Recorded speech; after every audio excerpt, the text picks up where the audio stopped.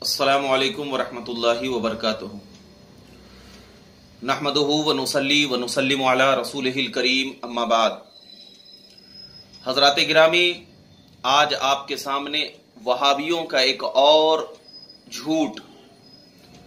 وہابیوں کی احادیث مبارکہ پر اپنی طرف سے جوڑ دینا اور وہ لوگوں کو اس قسم کی باتوں کو اپنے ویب سائٹ پر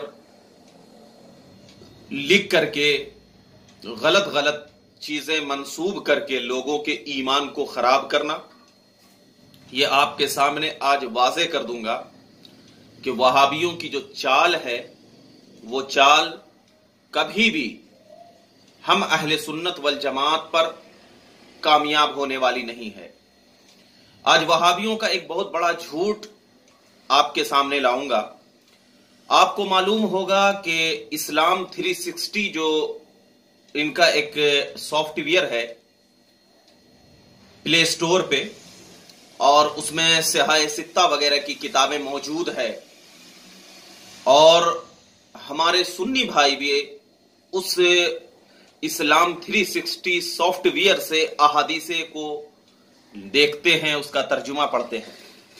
لیکن آپ کو میں اسی اسلام 360 جو پیج ہے، اس کا میں سب سے بڑا جھوٹ آپ کے سامنے پیش کروں گا۔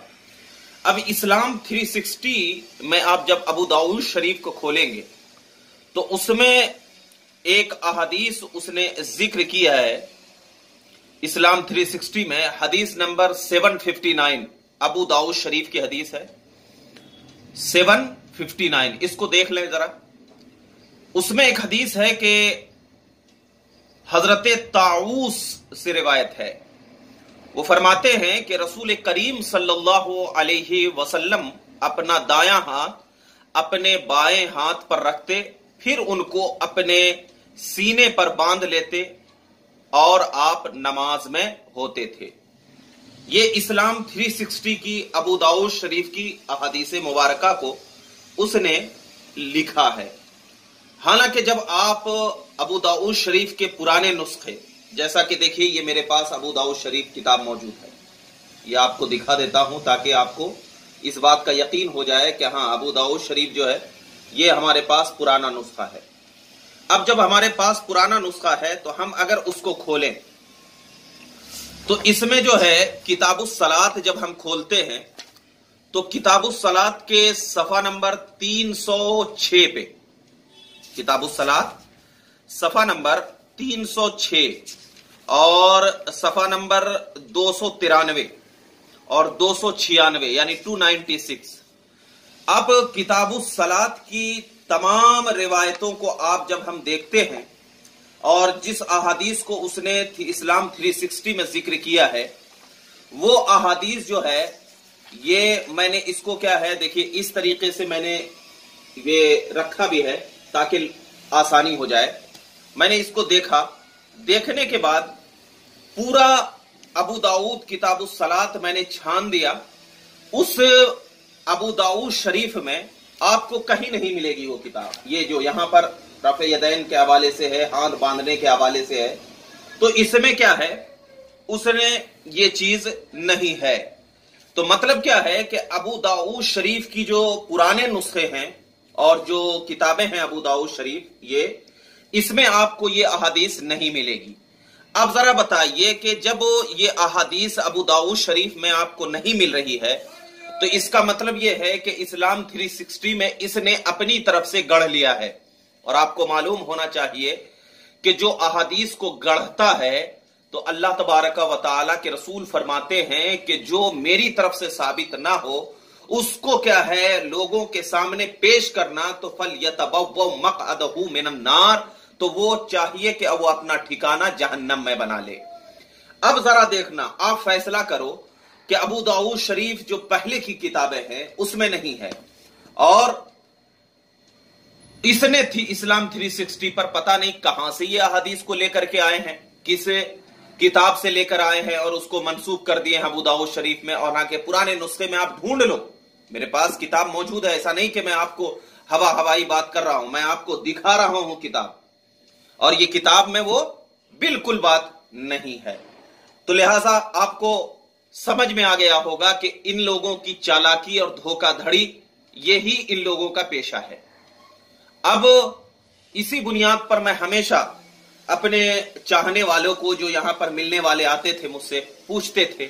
اور جو ہمارے سے گفتگو کرتے ہیں فونوں پہ، تو ان کو میں ہمیشہ یہی کہتا تھا کہ آپ 360 کے بجائے، اسلام 360 کے بجائے، اس سافٹ ویئر کو استعمال کرنے کے بجائے آپ کیا ہے، اصل کتاب میں کوئی بھی احادیث تلاش کریں۔ کیونکہ ان لوگوں کی ذات پر کبھی بھی بھروسہ نہ کریں کہ یہ کبھی بھی کچھ بھی کر سکتے تھے۔ کیونکہ یہ یہود و نصارہ کے ایجنٹ ہیں۔ تو ذرا بتاؤ کوئی بیٹا اپنے باپ کی روش کو چھوڑ سکتا ہے؟ نہیں چھوڑ سکتا نا۔ یہود و نصارہ توریت و انجیل میں خلط ملت کرتے تھے۔ اس میں اپنی طرف سے جوڑ دیتے تھے اپنی باتوں کو۔ تو اب جب اپنی طرف سے یہود و نصارہ جو ہے، وہ توریت و انجیل میں جوڑ دیتے تھے، تو انہی کی تو اولاد ہے، تو یہ احادیث میں کیوں نہیں جوڑیں گے؟ اپنے باپ کی روش پہ چل رہے ہیں۔ تو خدا کے واسطے وہ چیز نہ کرو۔ اب رہی بات کہ یہ لوگ جو مطلب احادیث کو پیش کرنے کے بعد یہ کہتے ہیں کہ سینے پر ہاتھ باندھنا یہ سنت ہے۔ اب ذرا میں آپ کو بتا دوں اور جو الحمدللہ ہم احناف کے نزدیک، ناف کے نیچے نماز میں ہاتھ باندھنا یہ زیادہ درست ہے۔ اور یہ جو ہے نا، یہ بالکل صحیح روایتوں سے یہ بالکل ثابت ہے۔ میں جو اس میں احادیث پڑھوں گا نا، ابو داؤد شریف کی ہی حدیث پڑھوں گا۔ لیکن میں آپ کو چیلنج کے ساتھ بتا رہا ہوں کہ اسلام 360 پیج یا وہابیوں کا کوئی بھی پیج یا وہابیوں کی جو کتاب چھپی ہوئی ہے ابو داؤد شریف ابھی جو احادیث میں پڑھنے جا رہا ہوں، یہ احادیث ابھی کے ابو داؤد شریف کے نسخے میں موجود ہی نہیں ہے لیکن جب آپ پرانی ابو داؤد شریف لیں گے، جو میرے پاس موجود ہے، پرانی ابو داؤد شریف لیں گے، تو آپ کو یہ احادیث مل جائے گی۔ کیونکہ اس میں کیا ہے؟ احناف کا مسلک ثابت ہو رہا ہے کہ ناف کے نیچے ہاتھ باندھنا یہ نماز میں ثابت ہے اور یہ احادیث درست ہے۔ لیکن کیا ہے؟ ان لوگوں نے ایسی احادیث کو اپنی اسلام پیس سے ہٹا ہی دیا ہے یا ابو داؤد شریف سے ہی ہٹا دیا ہے کہ لوگ کیا جاہل ہے جانتے ہی نہیں ہیں کہ ہم کیا کریں گے، کیسے کریں گے۔ تو لہٰذا ان لوگوں کی چالاکی کو میں بتا رہا ہوں کہ جو آدمی ہمارے مسلک اگر ثابت ہو رہی ہیں تو اس کو کیا ہے؟ بالکل کتابی سے ہٹا دی لیکن کتاب میں موجود ہے، حدیث مبارکہ ہے مسرد احمد بن حنبل کی جلد ایک، صفحہ نمبر ایک سو دس میں۔ حضرت علی رضی اللہ تعالی عنہ بیان کرتے ہیں کہ نماز میں سنت یہ ہے۔ نماز میں سنت یہ ہے۔ ان علی رضی اللہ عنہ قال، ان من السنت فی الصلاة.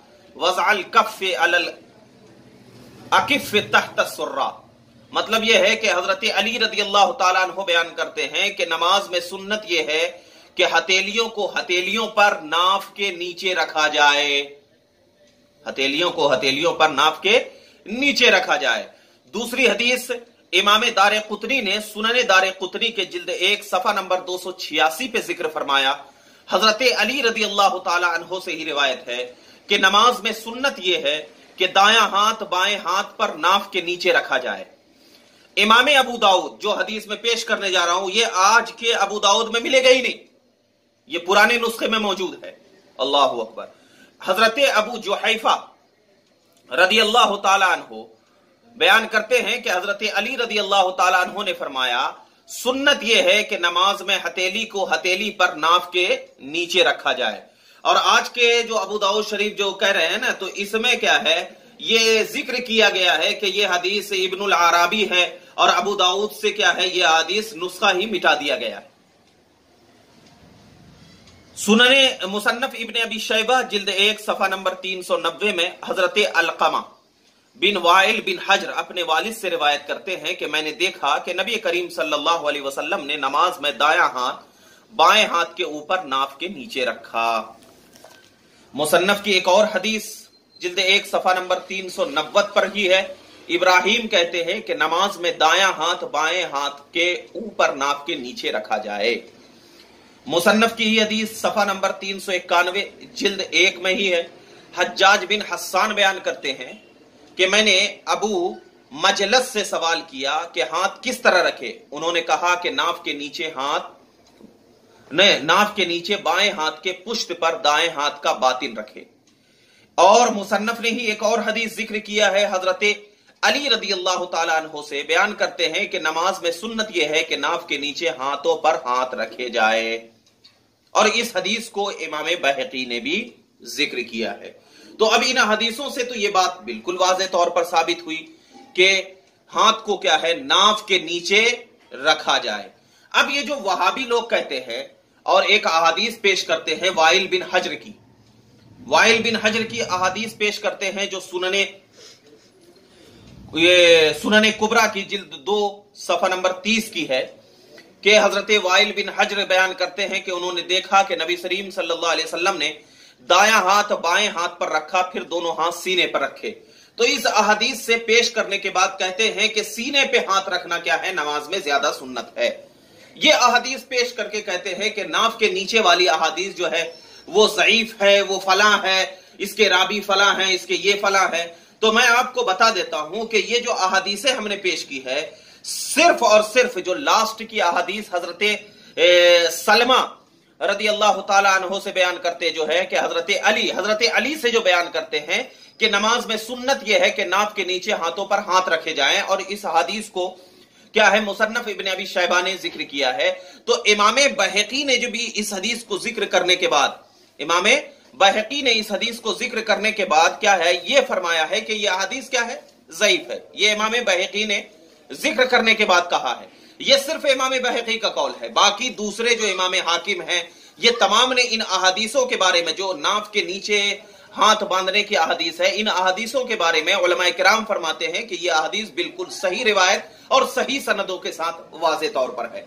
اور اب میں بتا دوں کہ وہ جو احادیث پیش کرتے ہیں حضرت وائل بن حجر کی، تو اب وہ جس کو کہ سنن کبرا نے ذکر فرمایا ہے سینے پر ہاتھ رکھنے کے حوالے سے، تو اس کے بارے میں علامہ ترکمانی علامہ ترکمانی رحمت اللہ تعالی علیہ نے ذکر فرمایا ہے، علامہ ترکمانی فرماتے ہیں کہ اس حدیث کی سند میں محمد بن حجر ہے ایک لفظ، ایک راوی جو ہے، جو حضرت وائل سے روایت ہے۔ تو اس حدیث کی سند میں کیا ہے؟ حضرت محمد بن حجر ہے۔ تو محمد بن حجر کے بارے میں امام زہبی، جن کو کہ بہت مانتے ہیں وہ لوگ، امام زہبی کہتے ہیں کہ وہ اپنے چچا سعید سے جو ہے، وہ منکر روایت کرتا تھا۔ یعنی محمد بن حجر جو ہے، اس کے اس حدیث کے راوی ہیں، اور وہ اپنے چچا سعید سے منکر روایت کرتا تھا، اور ایک راوی ہے اس حدیث کی سند میں ام جبار۔ ام جبار۔ امام زہبی اس کے بارے میں کہتے ہیں کہ یہ جو ہے غیر معروف ہے۔ یہ جو کیا ہے؟ غیر معروف ہے۔ اور اس حدیث کے بارے میں امام جہبی کا قول ہو گیا۔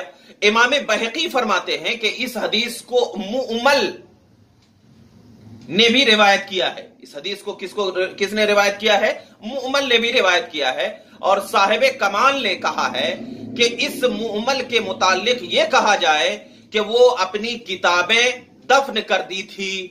یعنی جتنی بھی کتابیں تھی وہ دفن کر دی تھی اور اپنے حافظے سے احادیث بیان کرتا تھا۔ یعنی اپنے ذہن و دماغ سے احادیث بیان کرتا تھا۔ اور اس احادیث بیان کرنے میں بہت ساری ان سے غلطیاں اور خطائیں بھی ہو جایا کرتی تھی۔ اور میزان الاعتدال میں امام بخاری نے کہا ہے کہ یہ منکر الاحادیث ہے۔ وائل بن حجر کی جو احادیث پیش کرتے ہیں وہاں بھی یہ کیا ہے؟ منکر الاحادیث ہے۔ اور امام ابو حاتم نے کہا ہے کہ یہ کثیر الخطا آدمی تھا۔ یہ محمد بن حجر اور کیا ہے؟ یہ مومل، یہ کثیر الخطا آدمی تھا۔ اور ابو ذرا نے کہا ہے کہ اس کی حدیث میں بہت ساری خطائیں ہیں۔ نیز امام بحقی نے حضرت علی سے سینے پر ہاتھ باندھنے کی روایت کا ذکر کیا اور کہا ہے کہ اس حدیث کی سند اور متن میں اضطراب ہے۔ یعنی جو سینے کی حدیث کے جو متن وغیرہ میں ہے، وہ اس میں اضطراب ہے۔ امام بحقی نے جو سینے پر ہاتھ باندھنے کی روایت کیا ہے سنن کبرا نے جو روایت کیا ہے، اس میں بھی کیا ہے؟ اضطراب کا ذکر کیا گیا ہے۔ اور امام بحقی نے کہا ہے کہ روح بن مسیب، روح بن مسیب نے اپنی سند سے نقل کیا ہے کہ حضرت ابن عباس نے جو سینے پر ہاتھ باندھنے سے روایت کیا ہے، تو اس روایت کیا ہے سینے پر ہاتھ باندھنے والی احادیث کے متعلق۔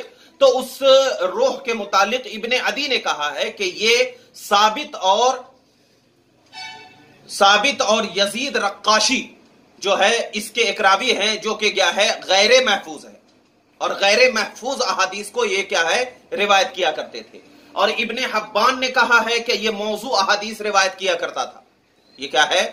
موضوع احادیث اور اس کی روایت کو لینا بالکل جائز نہیں ہے۔ اور ابن عدی، عمر اور امام فقری نے کہا ہے کہ یہ سقات سے منکر الاحادیث روایت کرتا تھا اور یہ سارق الاحادیث تھا یعنی احادیث کو چوری کیا کرتا تھا اور اپنے ذہن و دماغ سے روایت کرتا تھا۔ یہ ابن عباس والی روایت اور حضرت علی والی روایت جو سینے پر ہاتھ باندھنے کے حوالے سے ایک اور بات کر دوں۔ امام ابو یعلا نے فرمایا ہے کہ موسلی نے اس کو ضعیف کہا ہے۔ امام بحقی نے کہا ہے کہ ابو مزلس سے ناف کے اوپر ہاتھ باندھنے کو جو نقل کیا ہے یعنی ابو مزلس جو ایک راوی ہیں اور انہوں نے ناف کے اوپر ہاتھ باندھنے والی احادیث کو جو کہا ہے، تو اس کے بھی راوی سراہتن غلط ہے یہ۔ امام بحقیق فرماتے ہیں۔ کیونکہ ابو مزلس کا جو عمل تھا، امام بحقی فرماتے ہیں کہ ابو مزلس کا جو عمل تھا، وہ ناف کے نیچے ہاتھ باندھنے کا عمل تھا۔ جیسا کہ ابو عمر نے سند جید کے ساتھ سند جید کے ساتھ تمہید میں اور امام ابن ابی شیبہ نے اپنی مصنف میں ذکر کیا ہے۔ اور ابن معین نے بھی امام بحقی پر یہ اعتراض کیا ہے کہ انہوں نے بغیر سند کے ابو مزلس کی طرف یہ کیسے منسوخ کر دیا۔ اب ابن معین نے کہا ہے، لیکن امام بحقی کا قول زیادہ درست ہے۔ اب آئیے۔ ایک اور بات میں آپ کو سامنے کہوں۔ ابن حزم نے کہا ہے کہ ہم نے حضرت ابو حریرہ سے یہ روایت کیا ہے کہ نماز میں ناف کے نیچے ہاتھ پر ہاتھ باندھے، ہاتھ رکھے جائیں اور حضرت انس نے کہا کہ تین چیزیں اخلاق نبوت سے ہیں۔ جلدی افطار کرنا، دیر سے سہری کرنا اور نماز میں ناف کے نیچے ہاتھ، دائیں ہاتھ پر باندھنا۔ اب ان تمام کو جو میں نے ذکر کیا ہے، اس بات کو امام ترکمانی نے الجواہر الخفی جلد دو، صفحہ نمبر تیس اور بتیس کے بیچ میں ان تمام باتوں کو ذکر کیا ہے۔ اب میں خلاصہ یہ ہے، جو ان تمام باتوں کا خلاصہ یہ نکلا کہ سینے پر ہاتھ باندھنے والی احادیث جو ہے، وہ تمام احادیث سندن ضعیف ہے یہ خلاصہ نکلا کیونکہ سب بارے میں میں نے آپ کو یہ بات بتا دی۔ اور ناف کے نیچے ہاتھ باندھنے والی احادیث میں صرف ایک احادیث، جس کو کہ امام بحقی نے حضرت علی والی جو روایت ہے، صرف ایک احادیث سند کو امام بحقی نے ضعیف کہا ہے۔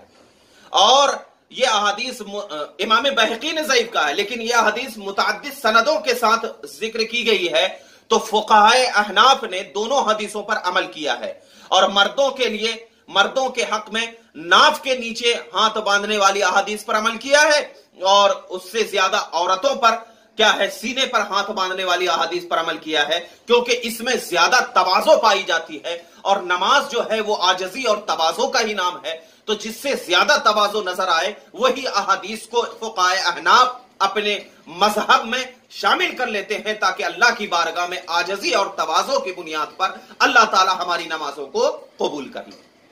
یہ بات میں آپ کے سامنے واضح کر دیا۔